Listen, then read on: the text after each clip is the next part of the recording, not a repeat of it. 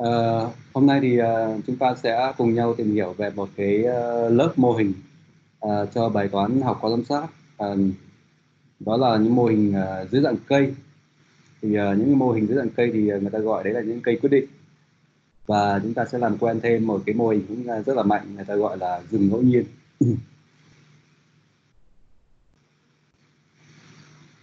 Thế thì uh, cây quyết định ấy, thì uh, đấy là một lớp các cái phương pháp um,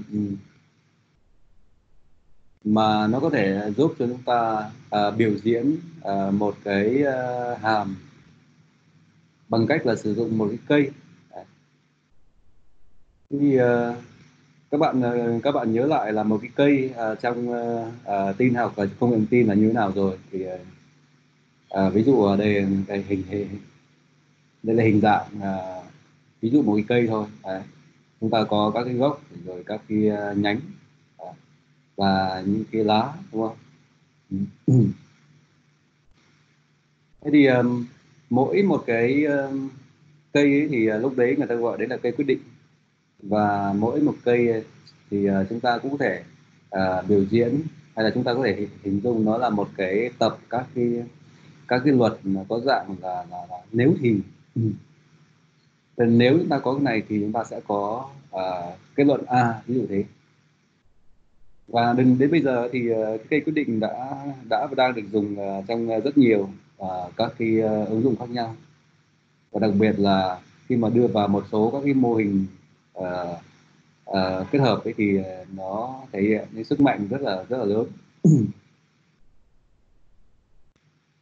Uh, chúng ta lấy một cái uh, ví dụ về một cái cây quyết định à, là như thế này. Giả sử chúng ta à, chúng ta biết một cái à, một cái tri thức về một cái người à, một cái nhóm người nào đó à, khi mà họ xem các cái chương trình trên TV ví dụ thế. Thì à, à, cái tri thức đấy chúng ta à, thấy là nó, nó dựa vào những quan sát của chúng ta trong quá khứ là chúng ta thấy là ví dụ một cái một cái anh A một cái người nào đấy à, khi mà người ta bật lên một cái bật à, tivi lên thì à, thì họ sẽ xem xem là nếu mà trong cái à, tivi nó đang chiếu một chương trình thể thao ví dụ thế thì họ có thể có thể xem tiếp. Nhưng mà nếu mà uh, nếu mà trong cái chương trình thể thao thể thao đấy mà có một cái uh, một cái cầu thủ mà mà mà anh ta yêu thích ví dụ thế thì anh ta sẽ quyết định xem uh, thế còn à, nếu mà à, trong cái chương trình thể thao đấy nó không có cái cầu thủ anh ta yêu thích thì có thể là à, anh ta thôi không xem nữa chuyển sang kênh khác hoặc là tắt đi. Hoặc là à, trong trường hợp mà, mà, mà ban đầu nếu mà à, anh, anh ta thấy là là là, là cái à, trong cái chương trình TV này nó không phải là thể thao nữa mà nó nó lại là thế thì thế thì anh ta có thể phải xem xem là nếu mà nếu mà chương trình nếu mà TV đang chiếu một cái chương trình uh, âm nhạc ví dụ thế. Thì lúc đấy anh ta có thể có thể xem ờ, xem tiếp quyết định xem tiếp. Thế còn nếu mà mà mà không chiếu âm nhạc nữa thì có thể uh, anh ta um, có thể đôi khi đôi khi anh ta quan tâm đến một vài cái, cái chương trình khác chẳng hạn như chương trình uh, uh, My God You Are Here ví dụ vậy. Thế còn nếu mà không có cái gì trong trong số thứ đấy mà anh ta hay quan tâm ấy thì có thể anh ta sẽ không xem nữa và uh, quyết định tắt tắt TV chẳng hạn như vậy. À, thì đây đấy là một vài ờ, những cái ví, ví dụ của mà giả sử chúng ta thu được những cái chi tiết đấy trong uh, trong quá khứ khi mà chúng ta uh, chúng ta quan sát uh, anh ta uh, những cái hành vi uh, những hành vi về về về về cái sở thích của anh ta khi mà xem TV thế thì uh, uh, trong tương lai một, một cái uh, lần nào đấy chúng ta thấy anh ta bật cái TV lên và chúng ta có thể đưa ra một phán đoán ờ, là anh ta có xem tiếp hay là không? Dựa vào cái chương trình TV nó đang chiếu. Dựa. Thì, thì, thì ờ, để chúng ta đưa ra phán đoán đấy thì chúng ta có thể dùng những cái những cái tri thức mà chúng ta đã biết là trước đây à, ví dụ chẳng hạn như trong trong cái ví dụ vừa nãy thì, thì chúng ta đã đã hình dung là là là chúng ta dùng như thế nào? Hoặc là à, à, lấy một cái ví dụ khác là chúng ta xét một à, một cái người à, rất là thích chơi tennis. À, ví dụ thế. Thì à, chúng ta à, trong quá khứ chúng ta đã quan sát à, anh ta rất nhiều ngày ngày chơi tennis khác nhau. Thế thì mỗi một hôm thì chúng ta quan sát một vài những thông tin chẳng hạn như là ở ngoài trời như nào độ ẩm là gió. Thì à, sau khi thu thập là rất nhiều những cái à, những cái quan sát và chúng ta thu được cái tri thức thì chúng ta thấy là à, nếu mà một cái buổi nào đấy mà mà mà, mà trời nắng trời nắng thì thì, thì uh, và lại thêm một cái điều kiện nữa là là là cái độ ẩm nó nó không quá cao là nó không quá oi bức. Và chúng ta chúng ta thấy là cái khả năng anh ta à, chơi tennis là cao và anh ta sẽ quyết định chơi như thế. Thế còn nếu mà độ ẩm nó cao quá à, hay là oi bức quá thì anh ta không chơi nữa hoặc là hôm nào trời dâm thì chúng ta chúng ta thấy à, anh ta chơi ví dụ thế.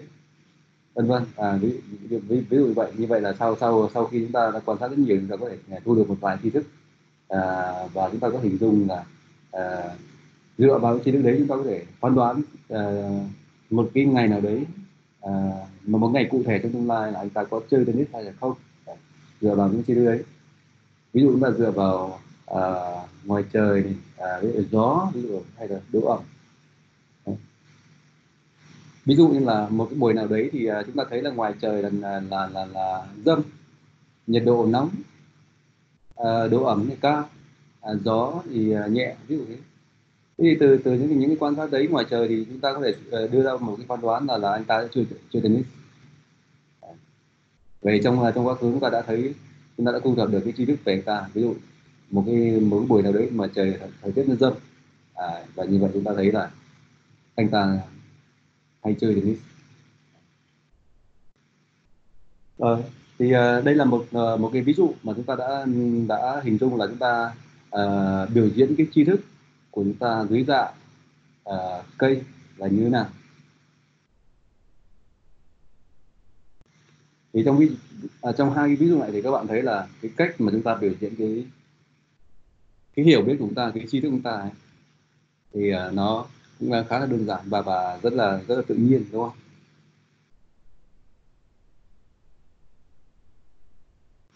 Rồi. Thế thì uh, bây giờ chúng ta sẽ bàn luận cụ thể hơn là chúng ta dùng cây để chúng ta uh, biểu diễn như thế nào. Thế bây giờ chúng ta xét uh, cái bài toán uh, phân loại đi. Chúng ta xét bài toán phân loại. Và à, chúng ta giả thuyết là chúng ta, xét một cái bài toán mà mà, mà cái dữ liệu chúng ta ấy, à, mỗi một quan sát thì được uh, biểu diễn bằng à, n cái thuộc tính. À, ví dụ chúng ta ký hiệu nó từ 1, 2, 3, 4 sang đến n ví dụ thế. À, và đặc biệt ở đây là chúng ta uh, xét một bài toán mà mỗi một cái thuộc tính uh, nó có dạng uh, người ta gọi là dạng định định danh. Tức là nominal hoặc là categorical. Có nghĩa là đây là những cái thuộc tính mà nó biểu diễn những cái những cái tên hoặc là những cái nhãn hoặc là những cái uh, những cái uh, lớp đối tượng nào đấy. Nó chỉ có ở dạng dạng tên dạng hữu hạn thôi. Ví dụ như này ví dụ chúng ta có uh, cái thuộc tính thứ nhất chẳng hạn thì cái giá trị của nó nó chỉ nằm uh, trong một cái tập. Ví dụ có uh, nhãn là hai normal ví dụ như vậy thì đây đây là một tập giá trị của cái thuộc tính thứ nhất.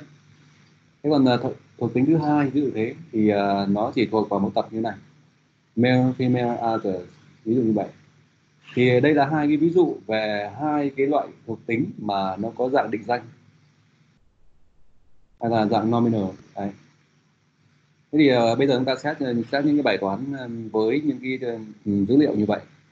Như vậy là tất cả các các thuộc tính đều ở dạng định danh và tất nhiên chúng ta xét bài toán phân loại thì à, chúng ta sẽ giả sử chúng ta có c cái lớp khác nhau trong cái bài toán này. Và chúng ta sẽ cần học một cái hàm từ một cái tập uh, huấn luyện uh, bao gồm m cái quan sát. Này. thì uh, đây là cái uh, cái bài toán mà chúng ta đang uh, xem xét. À, dạ, các bạn các bạn nhớ lại là à, cái bài toán này nó hơi khác so với ờ, à, những trường hợp trước những bài trước mà chúng ta làm quen à, với à, KNN hoặc là chúng ta làm làm với ờ, à, hồi quy tuyến tính đúng không? À, trong trong phần trước thì chúng ta đã xét là là là mỗi một thuộc tính thì à, nó có thể là dạng dạng số thực ví dụ như vậy thì ở đây chúng ta xét ừ, các thuộc tính là dưới dạng định danh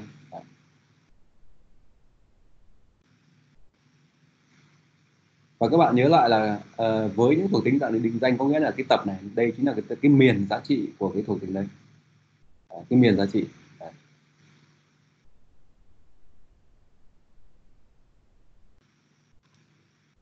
Rồi. Thế thì uh, uh, cái cách chúng ta dùng cây là là như sau. Uh, mỗi một cái uh, một cái đỉnh bên trong trong bên trong một của một cây ấy, thì uh, chúng ta sẽ biểu diễn một cái thuộc tính uh, để kiểm tra uh, cái dữ liệu sẽ đến về sau à. chúng ta gọi là testing attribute như vậy là mỗi một cái đỉnh nó sẽ có một cái thuộc tính đứng đó để để giúp chúng ta kiểm tra kiểm tra cái dữ liệu ờ, nó này, dữ liệu về sau như vừa nãy cho trong ví dụ trước ấy. và mỗi một cái nhánh hay là một cái cây con ấy xuất phát từ một cái đỉnh thì nó sẽ tương ứng với mỗi một giá trị trong cái miền uh, giá trị của thuộc tính đó. Thì uh, các uh, các bạn uh, hình dung đây ví dụ cái thuộc tính humidity ví dụ thế. Trong cái đỉnh này thì chúng ta lấy một cái thuộc tính humidity để để, để giúp ta uh, làm cái uh, cách kiểm tra đúng không? Thế thì uh, từ đây nó sẽ có hai nhánh à, thế thì mỗi một nhánh nó tương ứng với một cái giá trị của cái thuộc tính đấy. À, thế còn uh, outlook này ví dụ thế.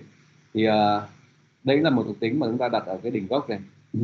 Thế thì uh, số lượng nhánh nó sẽ tương ứng với số lượng cái giá trị mà thuộc tính này nó có thể nhận. Đây ví dụ sunny overcast và rain ví dụ thế.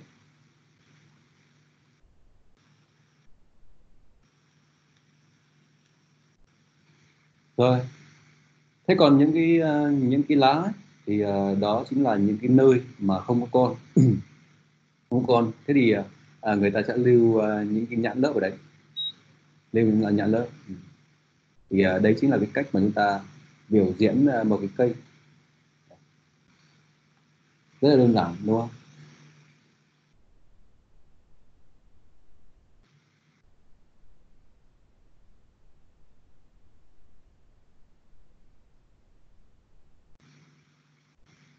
Rồi thế giả sử nếu mà chúng ta đã có một cái cây như thế rồi và chúng ta học từ dữ liệu có nghĩa là chúng ta đã có một cái cây tri thức đấy rồi. Thế thì à, chúng ta dùng như thế nào? Chúng ta dùng và phán đoán như thế nào? À, cái cách chúng ta dùng rất là đơn giản như sau. Chúng ta sẽ cho cái ờ, cái dữ liệu mà chúng ta cần phán đoán ấy, và duyệt qua cái cây đấy. Bằng cách là dùng các cái thuộc tính của nó để chúng ta duyệt từ gốc cho đến lá. Và chúng ta sẽ lấy cái nhãn ở cái lá đó để chúng ta mang ra chúng ta phán đoán cho cái ờ, dữ liệu mới ấy. thì đây ờ, đây chính là cái cách chúng ta mang ra phán đoán. Rất là đơn giản. Đây chúng ta lấy một cái ví dụ. À, đây giả sử cái ờ, chúng ta có một cái quan sát mới là outlook là overcast temperature hot ví dụ humidity high uh, wind weak thì đây là một cái quan sát mà chúng ta cần phán đoán. Thế thì chúng ta sẽ dùng các cái thủ tính này để chúng ta duyệt cái cây. Thế thì chúng ta sẽ duyệt cây có nghĩa chúng ta đi từ gốc, đúng không? Và để đi đến lá. Đấy. thế thì từ gốc chúng ta sẽ bắt đây, outlook. Thế bây giờ outlook nó là cái gì? Đấy. ở đây thì chúng ta có overcast và như vậy thì chúng ta sẽ đi theo cái hướng của overcast. Đây và đến đây đến đây đến lá rồi, và như vậy là sao chúng ta dùng cái nhãn này mang ra phán đoán. Cách làm rất là đơn giản như vậy thôi. Rồi và như vậy chúng ta đã có cái cách chúng ta biểu diễn tri thức và cái cách chúng ta phán đoán. Ừ, rất đơn giản. Chỗ này thì các bạn có câu hỏi gì không?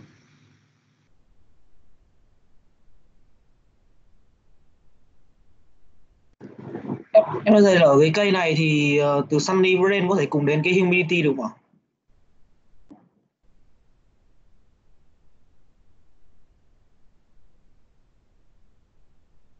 từ uh, sunny và rain và đều đi đến humidity. Thế tại tại sao phải kết hợp là sunny với rain cùng một lúc? Em thưa thầy là ví dụ như là cái bài toán đó là sunny với rain cùng đến hai humidity khác nhau. Nhưng mà một cái thì là hai là no normal là yes thì một cái là hai là yes normal là no no kiểu đấy ấy. Ờ, cái đấy thì nó nó sẽ có thể nó làm khó cho cho cái việc uh, phán đoán của ta à, chúng ta cũng hoàn toàn có thể dùng nhiều cái thuộc tính à, trong, trong cái trường hợp như vừa nãy em nói là là có thể là là, là à, dùng nhiều cái thuộc tính đúng không tại tại một cái đỉnh nó là nó có nhiều thuộc tính chứ không phải một Dạ vâng em hiểu ạ. Ừ. Và cái cây như thế thì uh, nó sẽ mở rộng về sau à, đây là một cái cái cây rất là cơ bản thôi. Thay vì là một ờ, một nhánh tương ứng với một cái giá trị thì ờ, mình uh, làm phức tạp nó lên bằng cách là một nhánh tương ứng với một tập giá trị đúng không? Thì đấy là một cách khác và nó sẽ làm cho cái cây nó phức tạp hơn chút.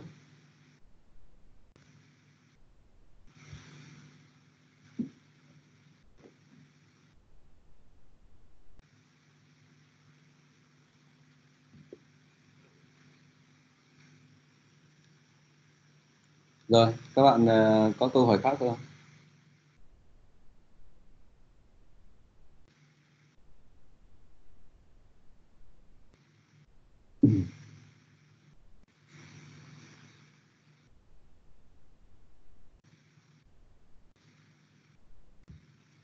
À, thế thì ờ, với cách biểu diễn như vậy thì chúng ta thấy là à, một cái đường đi mà đi từ gốc cho đến lá thì à, thực ra đấy là một à, một cái phép là kết hợp của các cái phép kiểm tra thôi của các cái lần kiểm tra đúng không?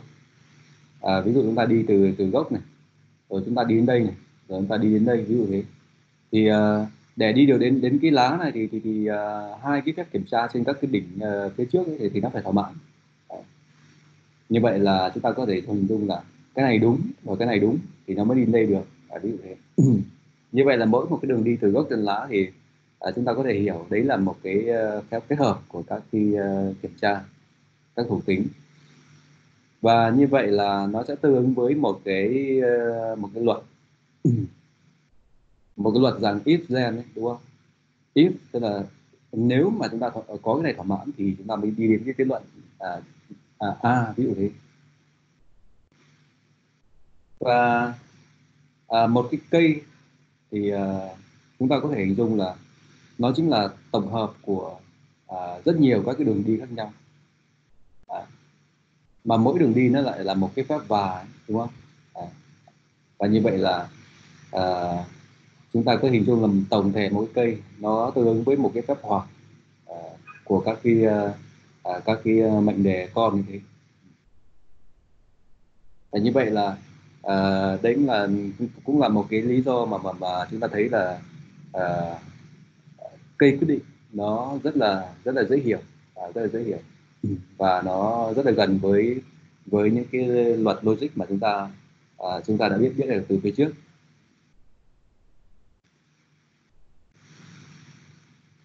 đây ví dụ nếu mà với một cái cây uh, như thế kia thì chúng ta có thể uh, viết uh, bằng một cái luật uh, tổng hợp tất cả các các cái tri thức chúng ta. Này bằng cách là chúng ta gom lại những, những cái đường đi từ gốc chân lá thôi. Đấy. và như vậy chúng ta sẽ thu được các, các cái luật tương ứng như thế này. Phép hoặc của các cái luật con. Đấy. rất là đơn giản.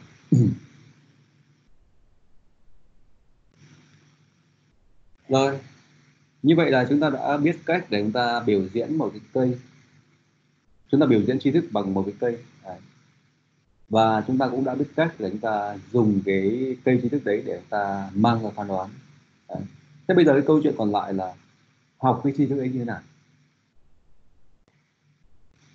thế thì uh, bây giờ chúng ta sẽ uh, cùng nhau tìm hiểu một cái thuật toán uh, có thể nói nói là rất là đơn giản kinh điển và được đề xuất bởi Ross Cleveland từ năm 86 Đấy thế thì uh, với cái thuật toán này thì đây là một thuật toán uh, được thiết kế dưới dạng uh, uh, top down. Có nghĩa là cái cái cái việc học ấy nó nó nó nó nó có xuất phát từ gốc rồi, rồi, rồi nó tăng dần tăng dần cái cái chiều cao của cây. Ví dụ cho đến khi nào dừng thôi. Rất là đơn giản như vậy.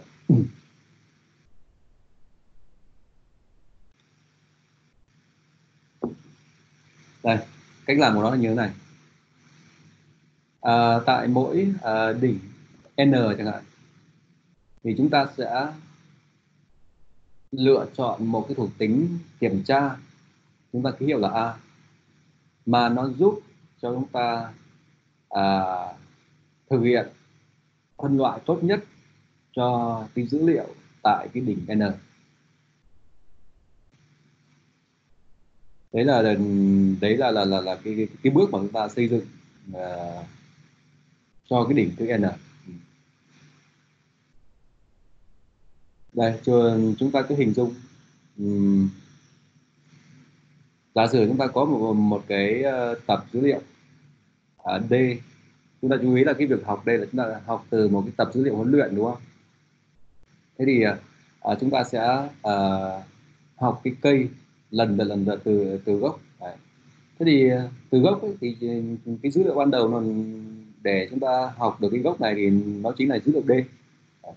Như vậy là từ từ cái tập D chúng ta sẽ phải tìm một cái thuộc tính mà nó có thể giúp chúng ta phân tách được cái ờ, bài toán tốt nhất có nghĩa là giúp chúng ta phân loại tốt nhất cho cái tập dữ liệu D đó.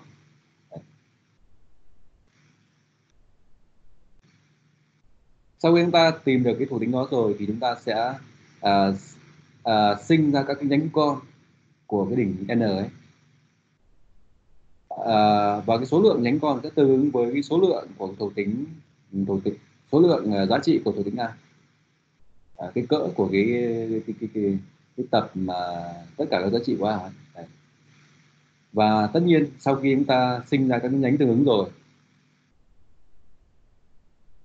chúng ta sẽ chia cái dữ liệu từ cái tập n cho các cái nhánh con từ vào các cái nhánh con đường. À. thì ờ, đấy chính là cái cách chúng ta xây dựng cho một cái đỉnh n. Thế còn các đỉnh khác thì chúng ta cứ làm tương tự thôi. Cứ làm đi làm lại ví dụ thế. Cho đến khi nào mà à, cái cây của chúng ta nó phân loại hoàn toàn chính xác tất cả cái dữ liệu huấn luyện hoặc là những cái thuộc tính tất cả các thuộc tính đã được sử dụng hết rồi. Mà chúng ta vẫn vẫn cần làm tiếp thì lúc đấy chúng ta chúng ta sẽ thôi. Đấy. thì đây đấy chính là cái ý tưởng của cái thuật toán uh, ID3 uh, rất là đơn giản.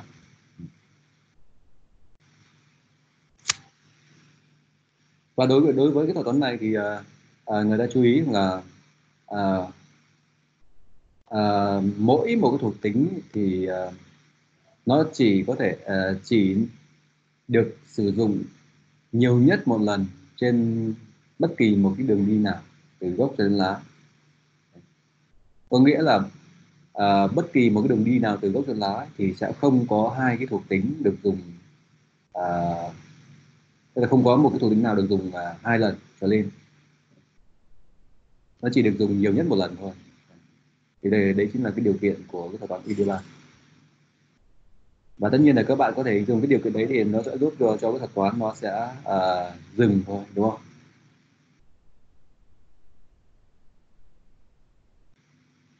Thế tại sao thì tại sao thì uh, ờ, phải cần có có cái điều kiện đấy để để thì thuật toán nó mới dừng?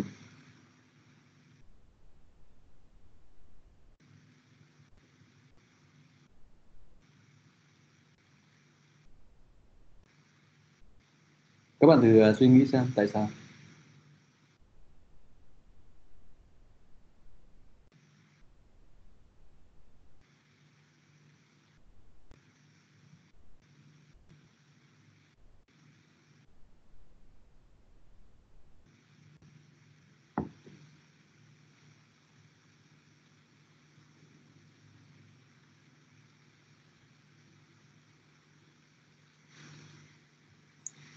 Ví dụ nếu nếu không có cái điều kiện này thì thuật toán nó sẽ không không dừng à, các bạn để, để, để phân tích cái tại sao.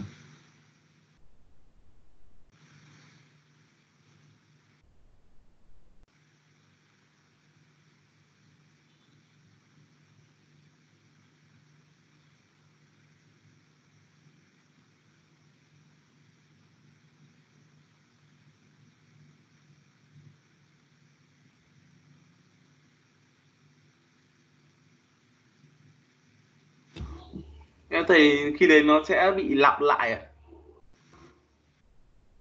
Ờ, giả sử như là một cái nhánh, một cái nhánh nào đó có một thuộc tính a nào đó, rồi ở trong một cái nhánh con, một cái cây con của cái nhánh a đấy nó lại xuất hiện thuộc tính đấy một lần nữa, và như thế là hoàn toàn từ cái nhánh con đấy nó thể xây một cái cây tựa tựa kiểu cây a thế thì nó sẽ lặp mãi.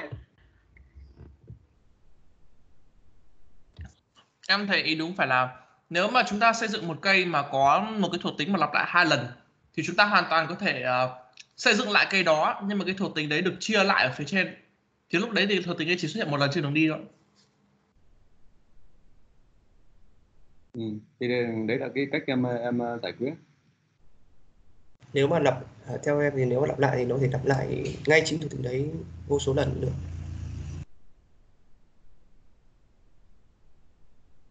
ừ thì đây đấy là khả năng ờ, nó, nó lặp lại thôi. Thì uh, nhưng mà lặp lại thì có có chắc là là là là là, là, là thuật toán nó sẽ không dừng không các bạn ờ, lấy một cái trường hợp cụ thể xem xem nó không dừng như thế nào.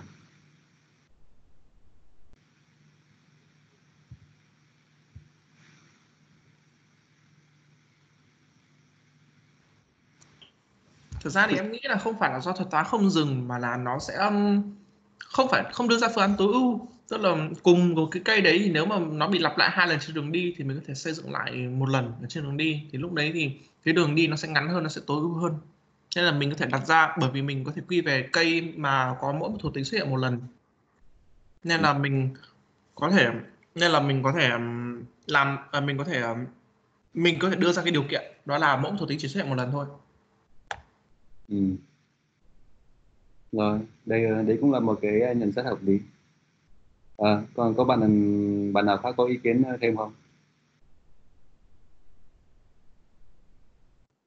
Em thấy nếu mà từ cái thuộc tính A mà xuống một nhánh nữa mà vẫn dùng vẫn có một thuộc tính A ở dưới thì nó sẽ tiếp tục chọn A là cái phân loại tốt nhất thì nó sẽ dùng liên tục như thế thì nó sẽ không ngược lại ừ. vừa vừa vừa cái đỉnh cha nó nó dùng xong đỉnh con nó lại dùng tiếp đúng không vâng ừ. rồi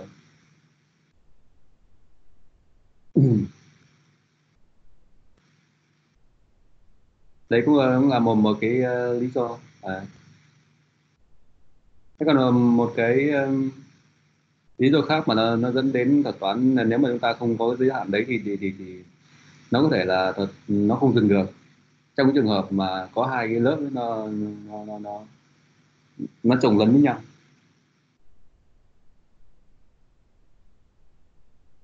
Ví dụ có hai lớp trồng lấn với nhau thì các bạn ừ, thấy là là là với cái cách làm này thì nó không bao giờ nó nó phán đoán ờ, chính xác được một trăm phần trăm.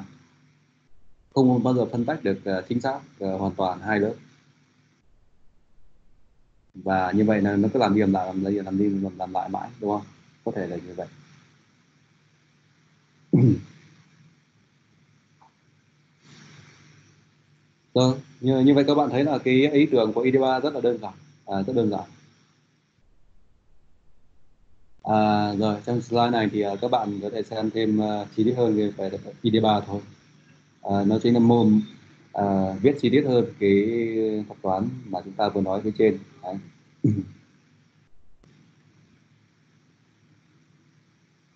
Thế thì à, ở đây à, đối với cái thuật toán này để chúng ta triển khai được thì nó có mấy điểm mà chúng ta sẽ phải à, chúng ta sẽ à, sẽ phải xem là đây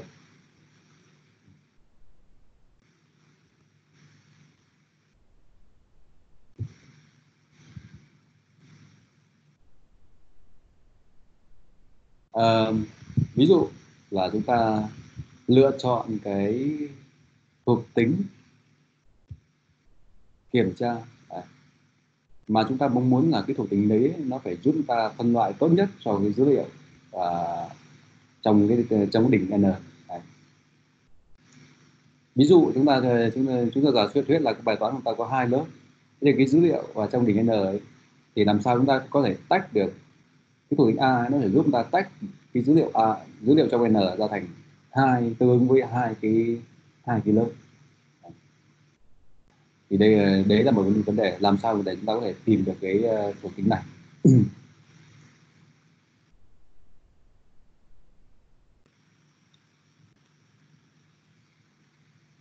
Và những thuộc tính mà mà mà mà nó giúp cho chúng ta uh, phân loại tốt ấy, thì người ta gọi đấy là những thuộc tính mà có tính tách biệt. À, có tính tách biệt. Hay tiếng Anh nó gọi là discriminative. Đấy. thế thì làm sao chúng ta có thể chọn được?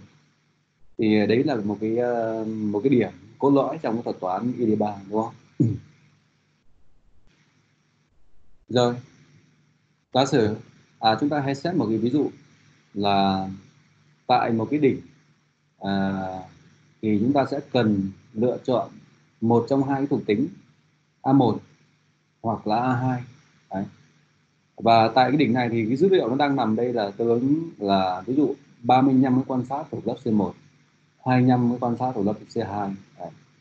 thế nếu mà chúng ta chọn A1 để đặt vào cái đỉnh này thì à, cuối cùng nó sẽ tách ra thành ba cái nhánh tương ứng ba nhánh tương ứng thế còn nếu mà chúng ta chọn cái A2 chúng ta đặt vào thì à, chúng ta thu được hai cái nhánh tương ứng và mỗi nhánh thì có số lượng phần tử hai lớp nó nó tương tương ứng như thế này.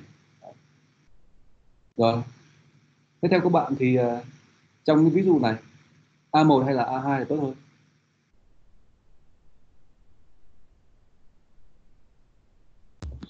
A2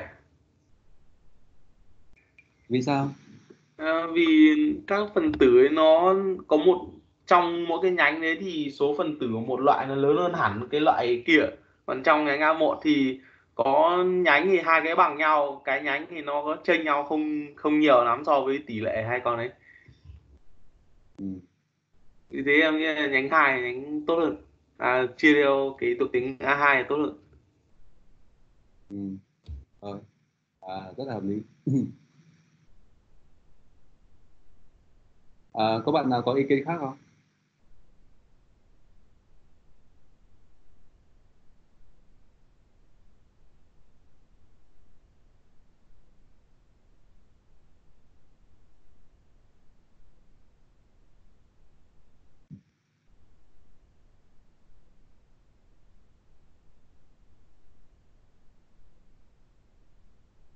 rồi như vậy ờ, như ờ, bạn ờ, trước vừa nãy nói thì chúng ta thấy là nếu mà chúng ta cái cái cái, cái thuộc tính A2 ấy, có thể là tốt hơn A1 bởi vì cái A2 nó đã, à, chia cái dữ liệu của ta thành hai phần. Ở cái phần bên trái nhánh bên trái thì ờ, cái dữ liệu hầu như là nó thuộc ờ, C1 thế còn bên phải thì nó, hầu như là thuộc C2 thế còn cái phần phần bị nhầm nhằng nó khá là ít có nghĩa là nó nó đã uh, phân chia cái dữ liệu của ta khá là tốt.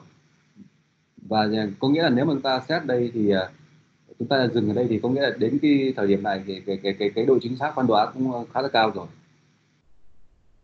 Thế còn nếu mà đối với A1 ví dụ thế. Thì chúng ta thấy cái kinh nhánh này này. Hai cái lớp nó, nó vẫn ờ, ngang ngửa nhau và như vậy nó mù mờ rồi đây. Có nghĩa là đang, đang phán đoán trong cái tập này là khoảng 50 phần trăm ví dụ thế cái này thì cũng tương tự như vậy và như vậy là à, ba cái tập dữ liệu này à, được à, phân chia ra thì cái mức độ tách biệt nó nó nó cũng chưa chưa được tốt so với A2 đúng không? Rồi thì đây đấy là một cái một cái quan sát mà mà các bạn có thể à, có thể hình dung. Thế thì uh, đấy là một cái ví dụ để rồi chúng ta hình dung là là là, là một cái thuộc tính như nào có thể là tốt hơn cái thuộc tính kia thế để chúng ta dùng nó vào trong một thuật toán thì chúng ta phải có cách để chúng ta đánh giá được chúng ta đo đạc được cái cái cái cái cái, cái, cái sự tách biệt ấy. thế thì à, đối với cái quyết định thì à, người ta đề xuất một cái độ đo người ta gọi là information gain.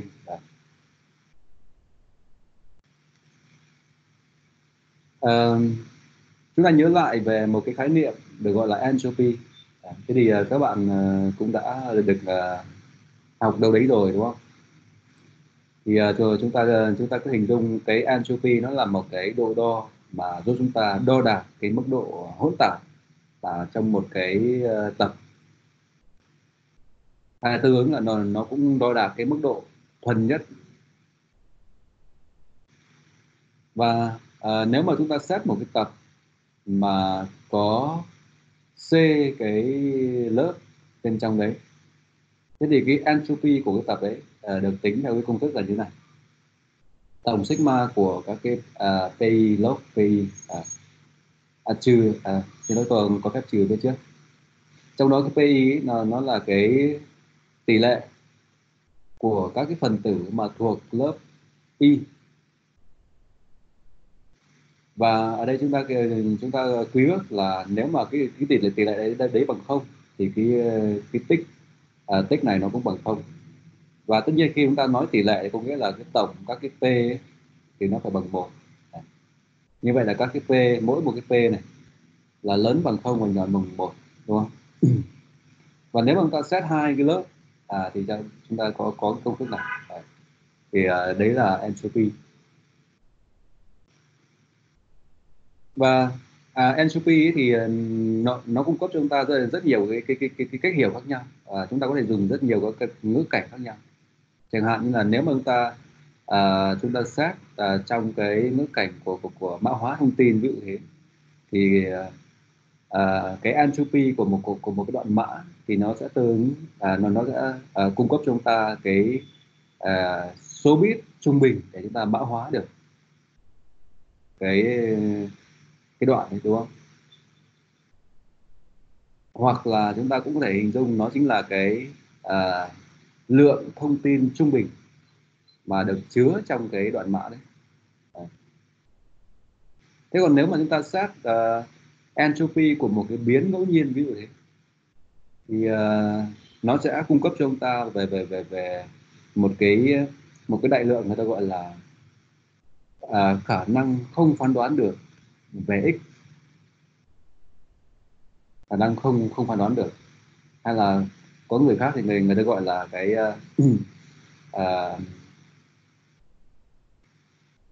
uh, cái sự bất ngờ surprise about x.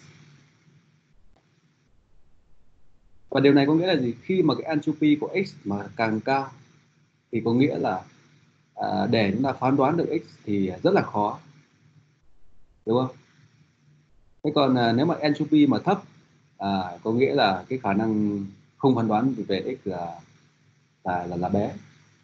Và có nghĩa là có, có nghĩa đến cái điều ngược lại là, là là chúng ta có thể phán đoán x uh, rất là tốt rất là dễ. À, khi mà cái entropy của x nó nó nó, nó bé. À, khi mà entropy của x nó bé thì có nghĩa cái lượng thông tin bên trong đấy là rất ít. À, như vậy là chúng ta có thể thấy là là, là có thể phán đoán rất là dễ.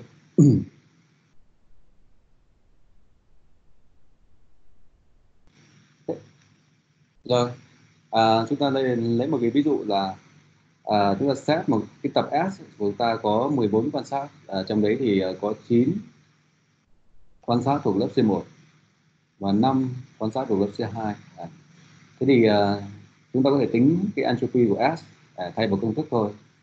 À, đây ví dụ như vậy. Thì à, nó đã ra khoảng à, 0,94 à, ví dụ vậy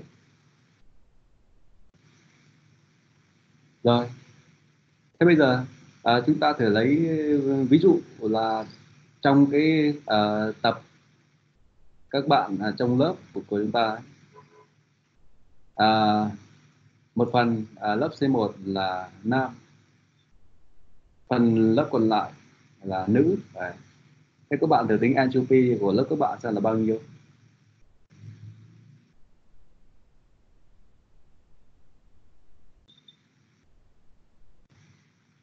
Lớp các bạn có bao nhiêu nữ?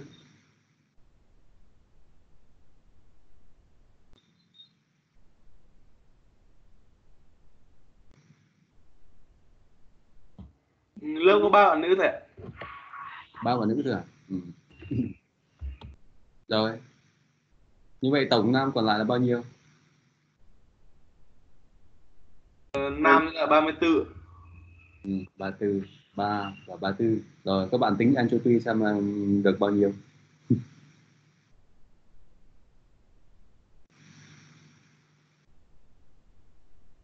được 0,4 ạ 0,4 á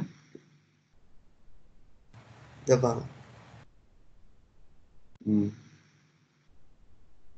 Ờ, ờ, như thế là cũng cũng khá cao đấy. sao lại cao nó nhỉ mình kiểu phải bé hơn chứ.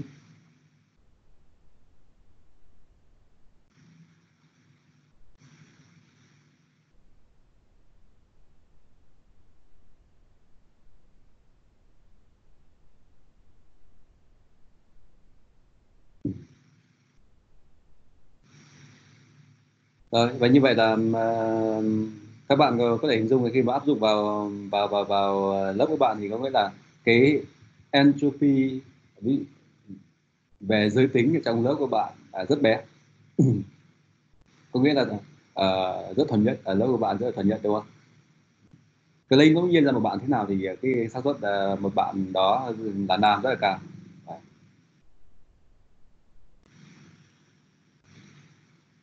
Rồi thì à, thế thì à, các bạn thấy là cái entropy nó bằng không. Nếu mà tất cả các cái um, Ờ, các phần tử trong S nó có cùng một nhãn. Đấy. thì lúc đấy entropy sẽ bằng không. Và lúc đấy thì rõ ràng là chúng ta phán đoán một cái phần tử bất kỳ trong S là rất là dễ đúng không? Lúc nào chính xác 100 trăm thế còn uh, entropy mà bằng một và đây là giá trị lớn nhất. Nếu mà các cái ờ, lớp bên trong S nó có cùng cỡ đây, ví dụ rồi, rồi chúng ta xét hai cái trường hợp. À, chúng ta xét à, một cái tập S mà có hai lớp. Cái lớp 1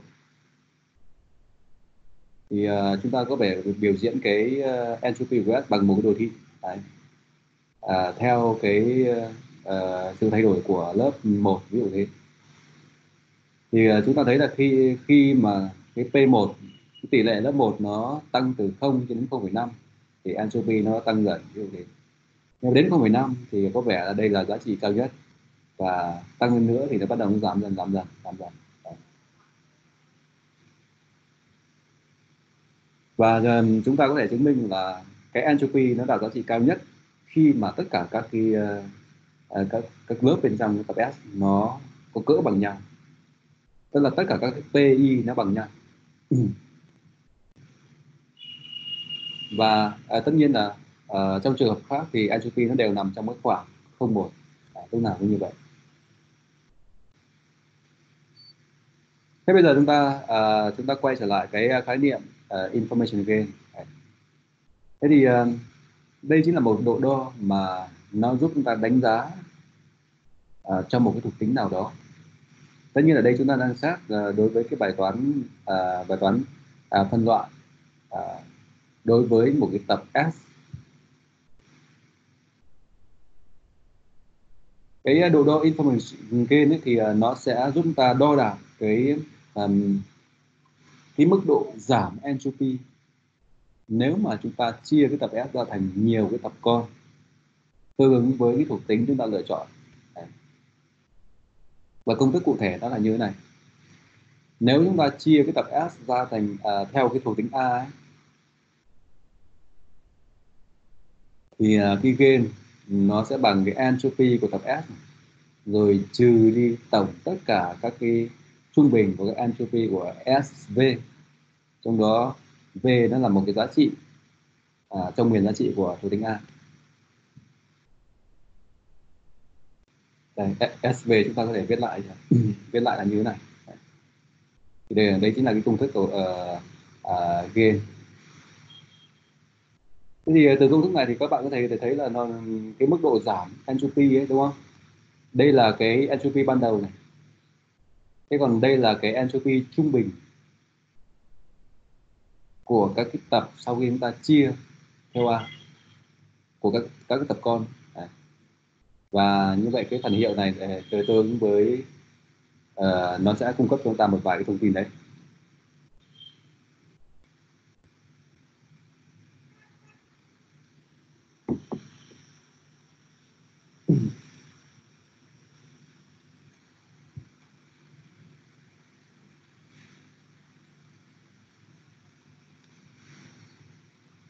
Rồi. Trong trong những phần đằng sau ấy, thì các bạn thấy uh, cái biểu thức đằng sau này. Ví dụ cái entropy của tập SV à, SV đây là một tập con của tập S. Thế thì entropy của tập SV có nghĩa là cái uh, thông tin mà được chứa trong cái tập SV đúng không? Được chứa trong cái tập SV à. và nếu mà chúng ta lấy tổng này vào và thêm cái đại lượng trung bình này nữa. Và như vậy chúng ta có thể hình dung là đây chính là nó mô tả cho cho chúng ta cái lượng thông tin trung bình còn giữ lại trong các cái tập con khi mà chúng ta chia S theo A.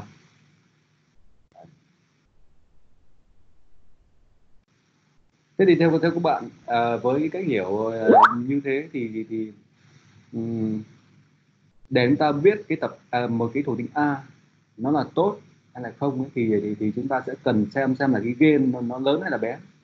Chúng ta sẽ chọn cái gain nó, nó, nó lớn hay là nó chọn cái gain nó bé.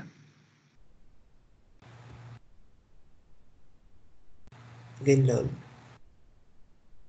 Tại sao lại gain lớn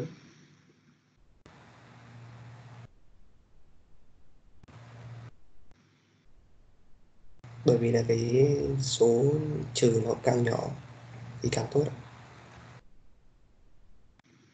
Cái số trừ càng nhỏ có nghĩa là ý em nói là cái đại lượng này nó càng nhỏ gì? Dạ vâng cái đại lượng đấy nhỏ ờ, có nghĩa là như thế nào? Tức là nó sẽ phân loại được tốt hơn. Bởi vì là entropy của F là càng nhỏ thì độ uh, độ hỗn loạn thông tin nó sẽ giảm xuống. Ừ. rồi. Như bạn uh, nhận xét uh, cũng rất là đúng. À. cái entropy của cái này nó càng bé có nghĩa là các cái phần tử bên trong tập SV này hầu hết nó nó chỉ uh, uh, thuộc một lớp đúng không? Nó thuần nhất. À. và khi mà nó thuộc một lớp thì có nghĩa là entropy nó bằng không. Và có nghĩa là lúc đấy thì chúng ta đã phân tách uh, dữ liệu rất tốt rồi ngon lành nhất rồi. À.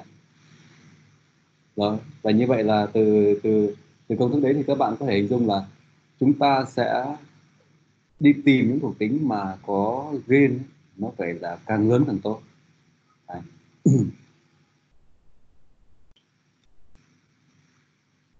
thì đấy ờ, đấy chính là cái cách ờ, cách chúng ta dùng để giúp chúng ta đo đạc một cái ờ, à, một cái thuộc tính. Và giúp chúng ta lựa chọn một thuộc tính thế bây giờ chúng ta sẽ lấy một cái ví dụ. Giả sử là chúng ta à, quan sát một cái người chơi tennis và chúng ta quan sát trong à, 14 ngày. Thế thì chúng ta sẽ có một cái tập S tương ứng ở đây. Mỗi một dòng ấy thì à, nó sẽ tương ứng với một cái quan sát và cái vị trí cuối cùng tương ứng với cái nhãn. Đấy. và mỗi một cột thì nó tương ứng với một cái thuộc tính thế thì ở đây chúng ta có 14 cái quan sát. Thế bây giờ, chúng ta hãy lấy một cái ví dụ là chúng ta muốn tính gain của S. Khi chúng ta chia theo theo win, đấy. thế thì ờ, win, đây, cái tổ tính win đây. Cái tổ tính win này ấy thì ờ, nó có, ở đây chúng ta có thể thấy là nó có hai cái giá trị khác nhau. Có nghĩa là miền giá trị nó nó chỉ có hai phần tử thôi như vậy nếu chia s theo win thì chúng ta sẽ chia thành hai cái tập con tương ứng với hai cái uh, giá trị này đúng không rồi thế thì uh, chúng ta sẽ đếm đếm tập s có bao nhiêu phần tử và đếm đếm cái tập con của nó à, s weak rồi s strong ví dụ thế Thế trong tập S thì các bạn à, có thể đếm à, đây có bao nhiêu phần tử thuộc lớp yes và có bao nhiêu phần tử thuộc lớp no. Đây. Thì uh, có 5 phần tử thuộc no. À. Thế còn uh, uh, S weak, S weak là là cái gì? Chính là những cái phần tử thuộc S mà có giá trị win là weak ờ. à, còn những phần tử thuộc S mà có giá trị win là width đây chúng ta có cái cái, cái width đây đúng không? Đây đây đây. Đây. như vậy các, các bạn có thể đếm. Thì ờ, các bạn sẽ thấy được nó sẽ có 6 phần tử. Nhưng mà trong 6 phần tử đấy thì nó uh, à xin lỗi chúng ta có 8 phần tử. Trong đó thì có 6 uh, à, phần tử thuộc lớp yes và có hai phần tử thuộc lớp no. Và tương ứng như thế thì uh, tương tự như thế thì các bạn có thể uh, thu được cái, cái tập S strong rồi thế bây giờ chúng ta tính entropy à, tính gain gain của S. Khi chia theo win thì nó chính bằng entropy của S rồi uh, trừ đi cái biểu thức này. Và chúng ta thay uh, thay vào cái công thức thôi. Và sau một thôi một hồi thì các bạn tính ra được là 0,00 à 0,048 thì đây đây chính là gain của S khi mà chúng ta chia theo win.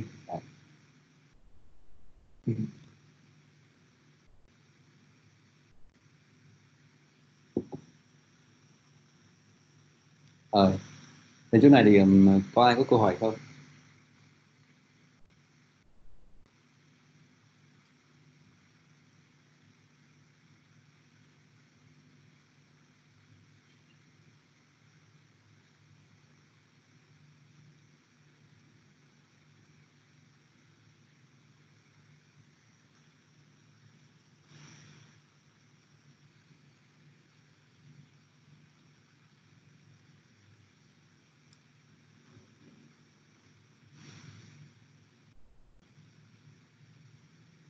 Ờ, các bạn hiểu hết rồi đúng không?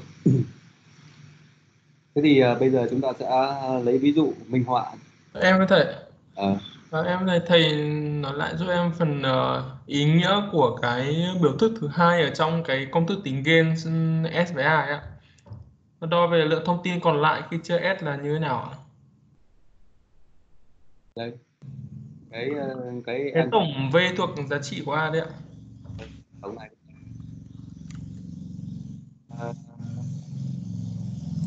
của SV này. Thì đây đây chính là cái entropy của cái tập con đúng không? Entropy của tập con. Dạ vâng. Ừ. thế thì ờ, cái entropy của cái tập con đấy chính là cái gì? Chính là cái thông tin được giữ lại trong cái tập con đấy. Cái thông tin từ tập S được giữ lại trong cái tập con đó đúng không?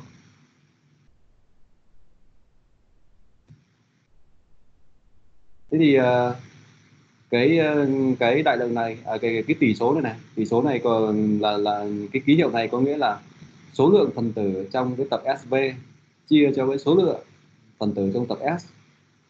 Chúng ta nhân uh, chúng ta nhân cái đại lượng này vào cái entropy này để để để chúng ta uh, là một cái cách để chúng ta tính trung bình thôi như vậy cái tổng này uh, tổng của tất cả các cái entropy này tổng trung bình đó thì chúng ta có thể hình dung là đây chính là cái thông tin trung bình được giữ lại trong các cái tập con khi chúng ta chia S theo A.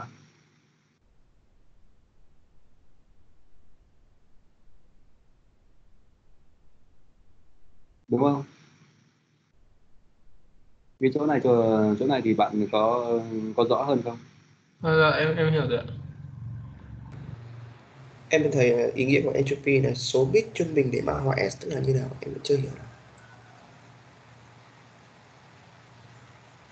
à, ví dụ bạn bạn uh, trong cái lý thuyết thông tin thì bạn cần uh, truyền một cái uh, một cái đoạn mã một cái message là S ví dụ thế. Thì uh, bạn cần ước muốn muốn biết xem là bên cái đoạn mã à, cái cái cái S đấy nó cần bao nhiêu bit để bạn biểu diễn? Thế thì uh, entropy nó nó sẽ cung cấp chúng ta một cái ước lượng cho cái số lượng bit đó. Dạ vâng ạ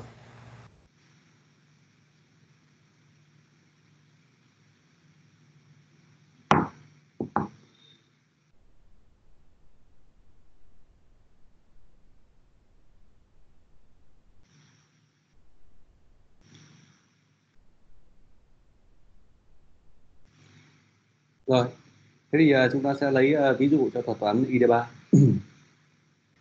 Nãy chúng ta thấy ý tưởng rồi, thế bây giờ chúng ta thấy lấy uh, ví dụ cho cái tập dữ liệu uh, gồm 14 cái quan sát ấy. Giờ chúng ta xây dựng một cây nó như thế nào? Đấy. Trước tiên là chúng ta xây dựng uh, từ cái đỉnh gốc. Đấy. Thế tại đỉnh gốc thì chúng ta sẽ phải lựa chọn uh, ra một cái thuộc tính để chúng ta đặt nó vào đúng không thế thì uh, lúc đấy tại đỉnh gốc thì chúng ta có đầy đủ các cái thuộc tính mà chúng ta chưa dùng à, bao gồm mà ngoài trời nhiệt độ độ ẩm rồi gió ví dụ thế. Thế thì à, chúng ta sẽ lựa chọn cái nào? Thế bây giờ chúng ta sẽ đi tính game cho mỗi một thuộc tính. Rồi. Thế thì tính toán như như trong ví dụ trước thôi. À, thì uh, sau một thôi một hồi thì các bạn có thể tính toán được. Thì uh, các bạn có thể tính game khi mà chúng ta chia theo outlook thì nó bằng 0,246 nên nếu mà chúng ta chia theo à, temperature thì nó là như này. Humidity thì tương tự. Đấy, đây Đấy. thì đây đây là các cái game khi chúng ta chia các thuộc tính à, chia s theo các thuộc tính như nhau. Và như vừa nãy các bạn à, có nhận xét là chúng ta cần chọn cái thuộc tính mà có gain là lớn nhất. Có nghĩa là cái thuộc tính đấy có khả năng phân tách tốt nhất đúng không? Và như vậy đây chúng chúng ta sẽ chọn cái outlook.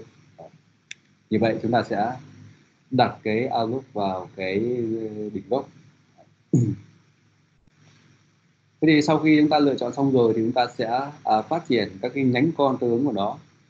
Thế thì thuộc tính outlook ấy, thì um, trong cái tập dữ liệu của chúng ta đây cái thuộc tính này. trong tập dữ liệu này nó có uh, giá trị sunny overcast rain như vậy có ba thuộc tính. Như vậy các bạn sẽ phải chia nó thành ba cái nhánh.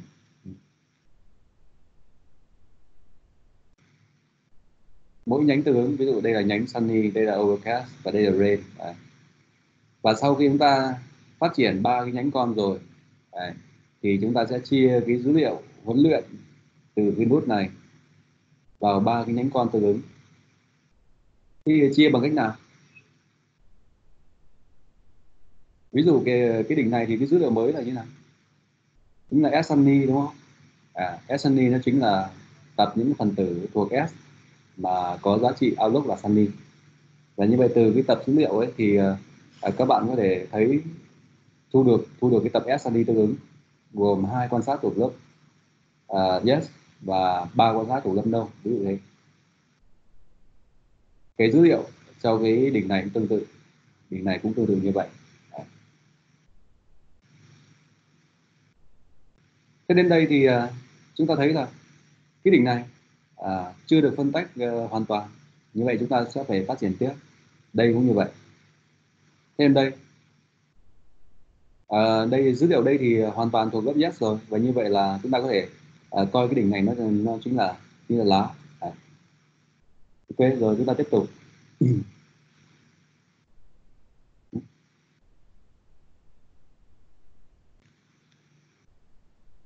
Thế thì ờ, nếu mà chúng ta muốn phát triển cho cái đỉnh này thì uh, chúng ta lại thực hiện tương tự như như vừa nãy là chúng ta tìm cái thuộc tính mà tốt nhất để chúng ta đặt vào đây đúng không? Và tất nhiên cái việc chúng ta tìm cái thuộc tính thì chúng ta chỉ dựa vào cái tập dữ liệu mà nó là nó đang có. Đấy. như vậy dựa vào cái tập dữ liệu này để chúng ta tìm cái thuộc tính.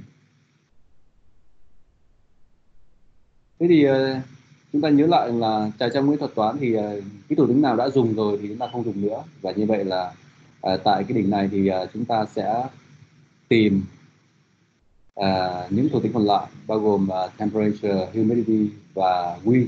Đấy. Thì các bạn là tính à, entropy, à, tính gain à, tương ứng với ba thuộc tính và chúng ta sẽ thấy chúng ta tìm được là cái humidity là một cái thuộc tính à, có thể là tốt nhất và chúng ta sẽ đặt nó vào trong cái đỉnh này.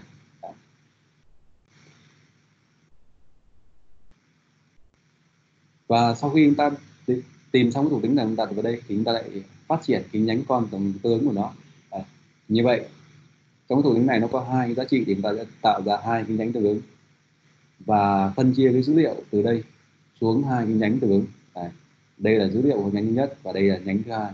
À, và các bạn cũng thấy là cái nhánh này dữ liệu đã hoàn toàn thuộc một lớp rồi. Đây cũng hoàn toàn thuộc một lớp. Và như vậy là chúng ta có thể đặt hai cái đỉnh này nó chính là lá. Như vậy là chúng ta không cần phát triển tiếp mà hai đỉnh này nữa đúng không? Rồi. Thế thì đây, đấy là một cái ví dụ để ta để chúng ta xây dựng cái cây. Nhưng mà đến đến đây thì cái cây đã xây xây dựng xong hoàn toàn chưa?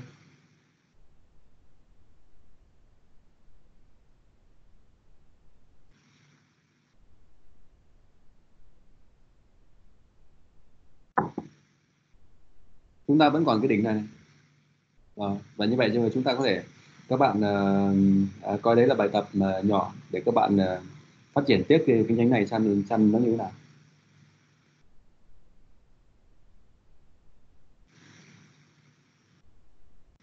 Ok rồi đây đấy là một cái ví dụ để các bạn là chúng ta uh, thấy là cái cách làm của thuật toán ID3 nó như thế nào. À, rất là đơn giản.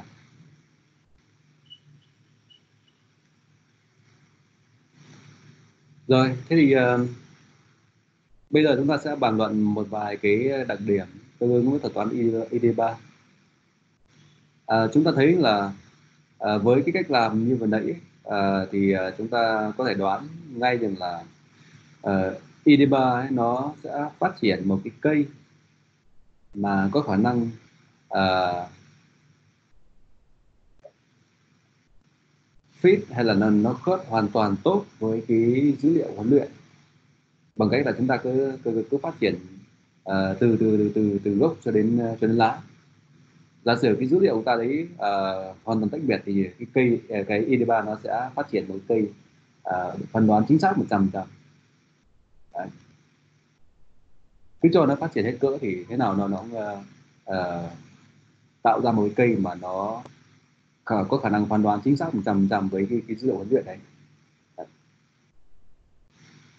Và cái sự phát triển của cái cây ấy thì nó được phụ thuộc rất nhiều vào cái cách mà chúng ta sử dụng cái độ đo information, information gain. Chúng ta nhớ lại là chúng ta sẽ uh, lựa chọn một thuộc tính mà có cái gain ấy, nó là lớn nhất để chúng ta đặt vào một cái đỉnh đúng không? Và các bạn cứ hình dung là với cách làm thế thì à, uh, ID3 nó chính là một cái phương pháp uh, tạm gọi là nó xây dựng hay là nó phát triển theo dạng tham lam và và tất nhiên với cái thuật toán này thì nó chỉ dùng chỉ phát triển được một cây thôi à, một cái cây. Thế thì nếu mà chúng ta à, à, chúng ta phát triển theo cái dạng tham lam như thế thì à, các bạn có thể hình dung là cái cây mà ID3 nó thu được ấy, thì chưa chắc là đã phải là cây tối ưu. Và cái cây ấy nó nó chỉ là một cái à, nếu mà tiền xét theo cái tính tối ưu thì nó chỉ là có cái tính tối ưu cục bộ thôi đúng không? Chứ không không phải là là là à, tối ưu à, toàn cục được. Bởi vì cái cái cái cái, cái thuật toán uh, tham lam thì uh, chúng ta đã biết cái đặc điểm của nó. Tham lam hay là hay là hay là uh, chúng ta cũng hình cũng có thể hình dung là đấy là một cái cách uh, tìm kiếm cái cây hay là cách chúng ta học một cây theo dạng leo đồi và trong cái thuật toán ID3 khi mà chúng ta đã dùng à, chúng ta đã chọn một một cái thuộc tính đặt vào một cái đỉnh thì chúng ta sẽ không bao giờ chúng ta quay quay trở lại chúng ta xem xét cái đỉnh đi nữa và chúng ta chỉ chỉ có phát triển tiếp thôi Đấy. cho nên là Ờ, với cách làm như thế thì chúng ta uh, khó cách nào chúng ta cải thiện ừ, những cái bước trước mà chúng ta đã làm. Nó đã đi đến đâu rồi nó cứ đi tiếp thôi ví dụ thế.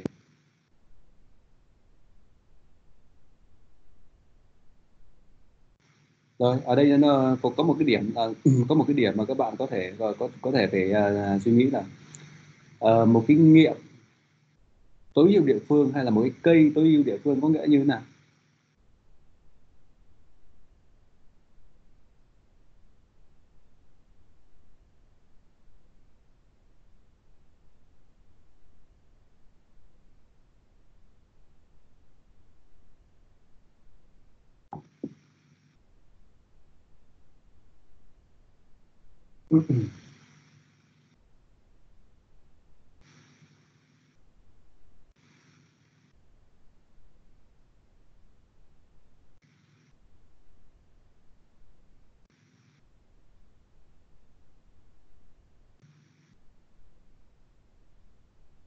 Có bạn nào có cái ờ, giải thích gì ờ, cho nó dễ hiểu không?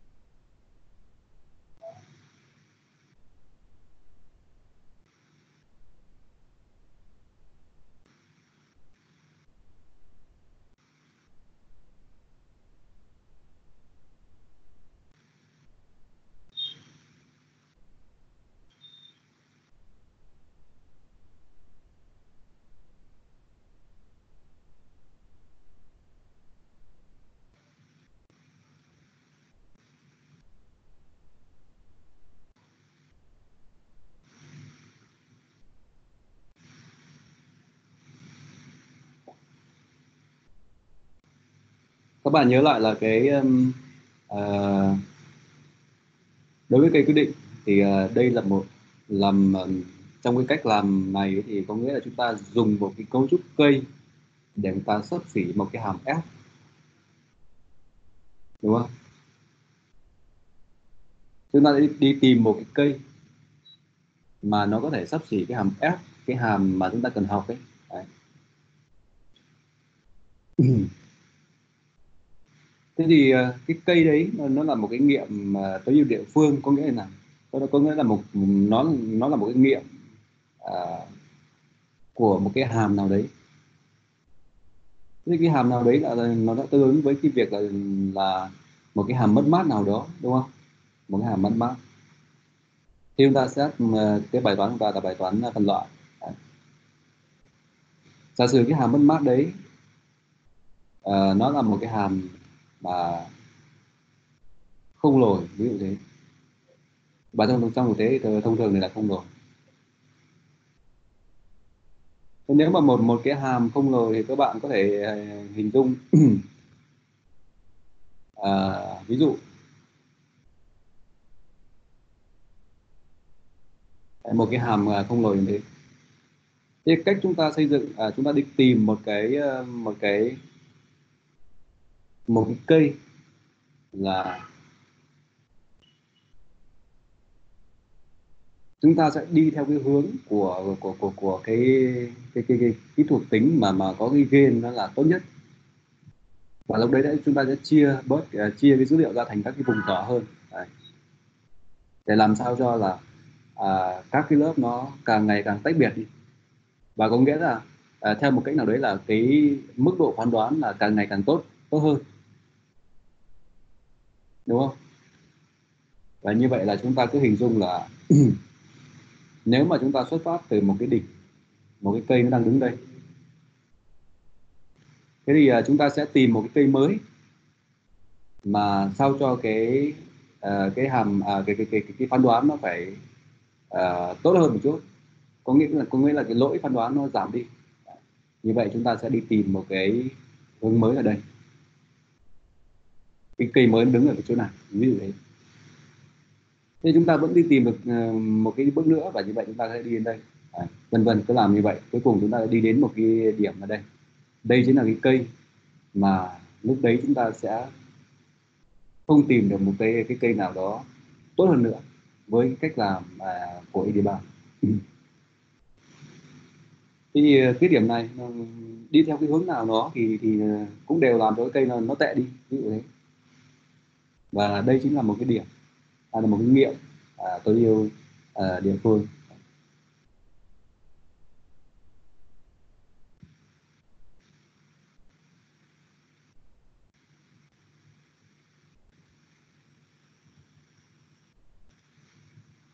Vâng. à, chúng ta thấy rằng là à, trong thực tế với một cái bài toán cho trước hay là với một cái tập à, dữ liệu huấn luyện cho trước ấy, thì có thể chúng ta có có thể tìm ra rất nhiều những kênh khác nhau mà nó fit với với cái tập dữ liệu đấy. Và có thể có vô hạn những cây khác nhau. Thế thì cái cây nào sẽ được uh, sử dụng bởi ID3 và cái cây cái, cái cây mà mà mà do ID3 nó tìm ấy, thì nó có đặc điểm gì không? Đấy giả sử với cái tập số liệu vừa nãy thì chúng ta có hai cây khác nhau cũng đều có có thể uh, có cái phán đoán chính xác 100% cho cái uh, cho cái tập với dữ liệu vừa nãy. Ừ. thì đây là hai cây khác nhau. Thế cây nào nó, nó sẽ được tìm bởi ID3 và tổng quát hơn là ID3 nó tìm ra những cây như có đặc trưng gì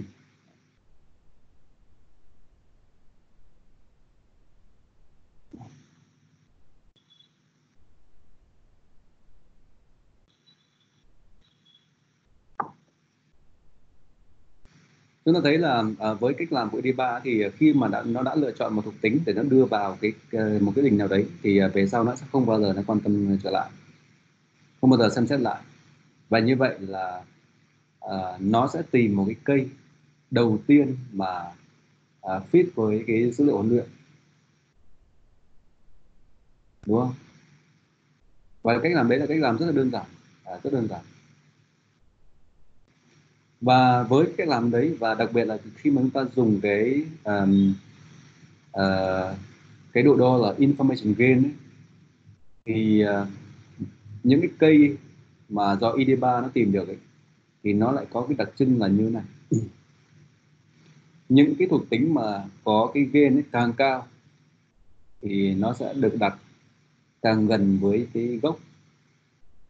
Và như vậy là à, những cây ấy, những cây như thế nó rất giống với những cây à, tương tự như những cây lùn.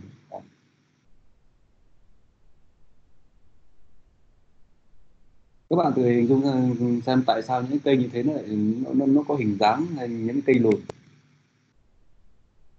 Hay là những cây có chiều cao rất thấp.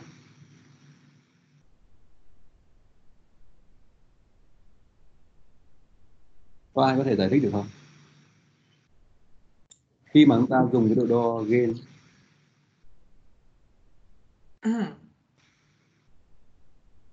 Em có thể là do các cái đỉnh của cái cây thì nó chia nhánh nhiều hơn cho nên là nó sẽ lùn hơn. À, thế vì vì sao lại lại lại lại chia nhánh nhiều hơn? Bởi vì là mình ưu tiên những cái phân loại tốt hơn cho nên là nó sẽ chia nhánh nhiều hơn. Tức là khi mà mình chọn một cái thì uh, tiếp theo mình sẽ tức là mình sẽ chọn cái mà phân loại được tốt nhất ấy. Cho nên là những cái đấy thì sẽ có xu hướng là nhiều nhánh hơn. Chia dữ liệu ra nhiều tập nhỏ hơn nên là luôn hơn. À, cũng nhìn thấy cái cái nó, nó rõ lắm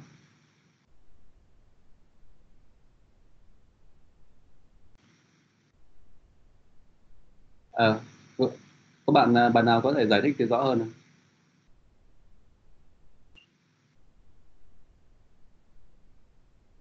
ý ý của bạn uh, đắc đúng không? Uh, có nghĩa là là là những cái thuộc tính mà càng nhiều giá trị thì nó nó có thể càng càng đặt gần gốc. Càng nhiều giá trị có nghĩa là càng nhiều nhánh.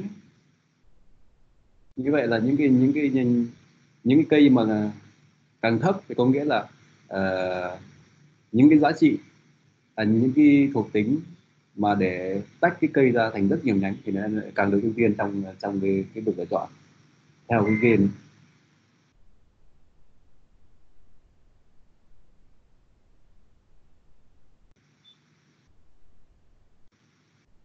rồi ờ, thì các bạn thử, thử, thử tìm một cái lý do thế, thế nào ờ, cho, cho nó à, dễ hình dung hơn hay là nó rõ ràng hơn nào em thấy là gain càng cao thì nó càng gần gốc hơn. Thì uh, có thể nó có thể bỏ qua những cái thuộc tính có gain thấp hơn thì nó đã có thể phân loại được. Bỏ qua những cái thuộc tính có gain thấp hơn? Ở ờ, thì tất nhiên rồi nhưng mà cái gain cao với gain thấp ấy đặc biệt là cái gain cao ấy, tại sao nó lại tương ứng với những cái nó lại nó lại hay tìm đến những cái thuộc tính mà có nhiều cái giá trị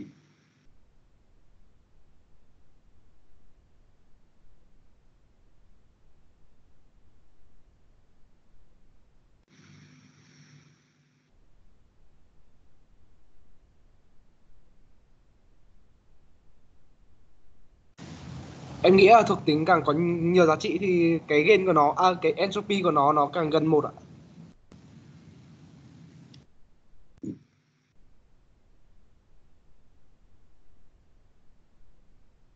Ừ. em có thể ờ, giải thích nó kỹ hơn không? Tại sao cái entropy nó lại càng gần một? Ờ, thì lúc nãy uh, có tức là, tức là càng tức là nếu như chỉ có mà chỉ có một chỉ có uh, cái uh, cái lệ em cũng không rõ cái này lắm ok Như thế em nghĩ là kiểu lúc mà nó chia xuống thì nó sẽ ưu tiên để giảm độ giảm độ hỗn tạp nhanh nhất ấy. Thì nó sẽ chia cái cây này nó sẽ ưu tiên chia giảm xuống các cái con sao cho mà các cái con nó có độ hỗn tạp thấp ấy, cho nên là nó sẽ lùn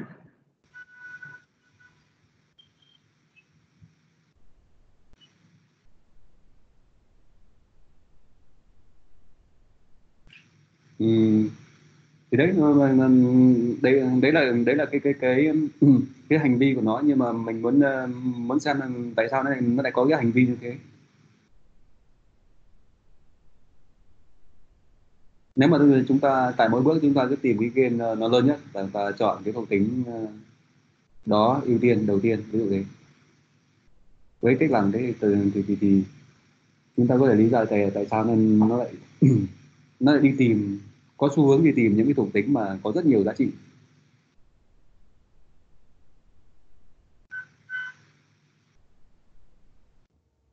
em thầy theo em vừa vừa thử một vài giá trị thì em thấy có em lấy ví dụ một cái ví dụ là trong trường hợp à, nghĩa là một cái thuộc tính trong cái thuộc tính ấy có hai giá trị và một cái thuộc tính trong thuộc tính có ba giá trị và các giá trị được chia đều với nhau thì ừ. theo được thấy thì cái entropy của, của cái thuộc tính có ba giá trị nó sẽ uh, thấp hơn cái kênh nó sẽ lớn hơn như vậy thì nó sẽ như vậy em có thấy là cái nó sẽ đi theo cái uh, chọn cái thuộc tính có gain cao hơn tức là các thuộc tính có nhiều nhánh hơn mà càng nhiều nhánh hơn thì uh, cái cây nó sẽ to ra và như thế chiều cao nó bị lùn đi. Ừ. rồi đấy đấy là một ví dụ như vậy là em đã đặt bút tính rất là nhanh đúng không? Em thầy uh, do cái trong công thức của nó đấy thì nó có cái tỷ số nc n thì nếu mà nó có nhiều giá cái thuộc tính nên nó có phân nhiều giá trị thì cái tỷ số đấy càng nhỏ. Thì uh, cái uh, tổng giá trị đấy nó càng có xu hướng nhỏ hơn nên cái gain nó sẽ cao hơn.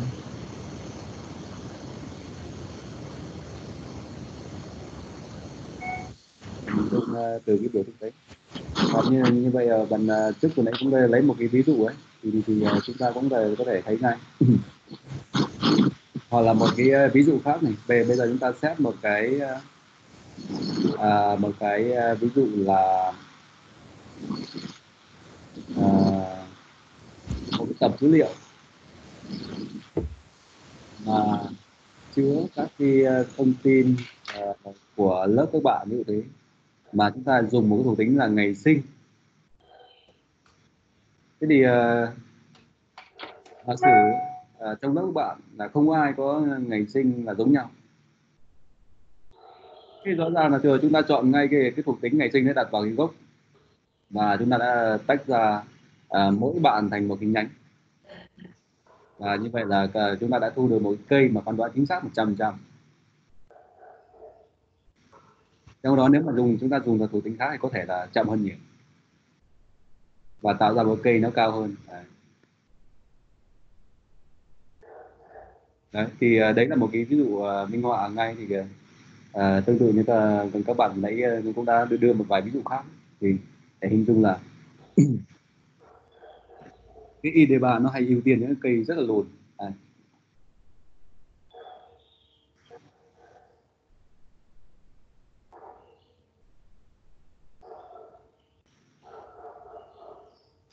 Ok, à, đến đây thì uh, các bạn có câu hỏi gì uh, khác không?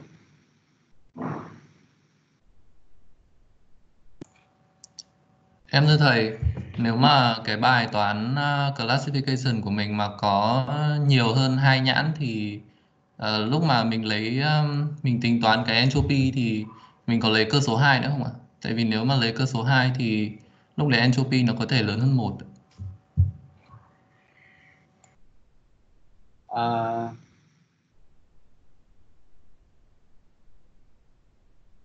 tại sao lại entropy lại lớn một nhỉ Ừm, nếu mà giả sử mà tất cả những cái dữ liệu mà nó có cùng cái PI mà cái thì cái entropy giả sử mà có 3 nhãn thì entropy nó sẽ bằng log 2 của 3. Ở cái công thức này nếu mà tất cả PI bằng nhau thì uh, nếu mà PI bằng nhau thì nó sẽ ra là log 2 của C ạ. PI nó luôn nhỏ một chứ mà. Không cái entropy của S ấy. Đây, đây, Nếu đây, mà đây. tất cả các PI bằng nhau. Nó bằng nhau có nghĩa là bằng nhau. Bằng 1 phần 3 mà anh. Ừ, 1 phần 3 mà. Bằng 1 phần 3. 3 Tức lần là 1 phần P 3 bằng 1 phần 3 nhưng mà cái en- entropy nó sẽ bằng log 2 của 3. lốc 2 của 3 thế còn em còn nhân với mà cái cái, cái p bên ngoài mà Vâng, nhưng mà nếu PI mà bằng 1 phần 3 thì không phải là ba cái sẽ là 3 nhân 1 phần 3 nhân log 2 của 3 thì kết quả nó vẫn là log 2 của 3. Ví dụ đây là 1 phần 3 bên ngoài đúng không? À, bên, bên trong là là lốc của ok.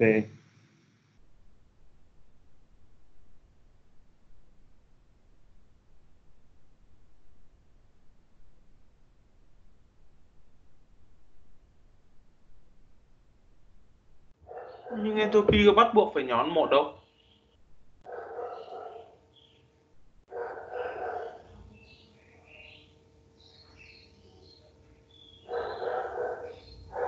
Thế là trong trường hợp nhiều ờ, nhiều lớp đúng không? tại em thấy trong cái lý thuyết thông tin ấy thì entropy người ta chỉ lấy cơ bản nó là lốc thôi còn tùy lốc cơ số mấy thì sẽ có đơn vị khác nhau ấy Ừ, như vâng. vậy không hề có cái quy định nào bắt buộc là entropy phải bé hơn một Ừ. Ừ, đúng rồi, có thể là cái en, en, entropy này đúng rồi nếu nếu mà lớn hơn một thì nó cũng đâu ảnh hưởng gì cái đánh giá đâu. Ừ. Rồi, entropy mục đích của mình chỉ là để xem là nó có bị hỗn loạn nhiều hay không thôi mà rồi. Ờ, trong khoảng từ 0 đến 1 như như nãy là mình đang lấy cái ví dụ là hai cái ờ, lớp đúng không?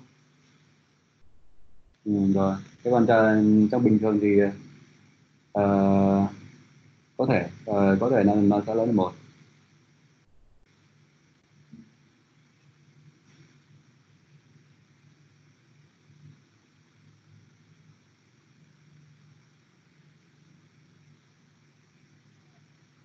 À, như, các bạn vừa nói thì cái, cái đại lượng ờ, log 2 thì đấy đấy là một cái cách chúng ta chúng ta dùng thôi. À, bạn có thể log DPI là một cái log nào đấy Vâng. Và trong cái uh, uh, gain ấy thì uh, chúng ta thay cái log đấy thì uh, cũng không không ảnh hưởng gì nhiều.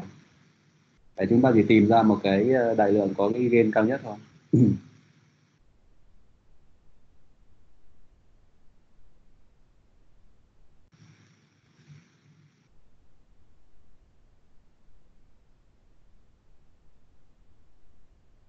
Rồi, à, có bạn nào có câu hỏi gì khác không? em thấy là trong cái thuật toán để xây cây ờ, của mình thuật toán ID3 ấy thì uh, đầu tiên là mình tìm cái có gain cao nhất sau đó thì tức là ví dụ từ cái overview ấy thì có một cái thuộc tính A là có cái uh, có một nhánh là có có đến ờ, có cái ờ, thuộc tính A là có gain cao nhất thì mình chọn cái đấy sau đó thì đến cái nhánh còn lại thì có được chọn A là gain cao nhất được nữa không thầy? Ờ, cái nhánh còn lại có nghĩa là nhánh không phải nhánh con gì mà mà mà nhánh anh chị gì đúng không? tức là nó là nhánh con của overview nhưng không phải nhánh con của A ấy tức là từ overview có một cái nhánh mà mình chọn A ở đấy rồi thì cái nhánh bên kia mình có thể là chọn A làm tốt nhất được nữa không ạ? Ờ, đâu chứ. Dạ vâng. Cái điều kiện vừa nãy của mình là chỉ là một cái đường đi ờ, từ gốc cho đến lá thì ờ, không được dùng hai lần một thuộc tính nào đấy thôi. Ừ. Thế còn ờ, hai cái đường đi hai cái đường khác nhau thì đều có thể dùng cái ờ, thuộc tính giống nhau. Dạ vâng vâng.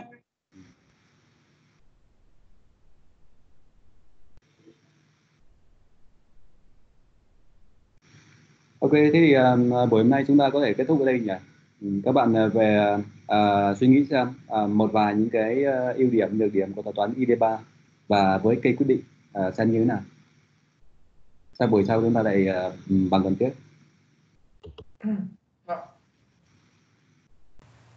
Rồi, uh, chào tất cả các bạn.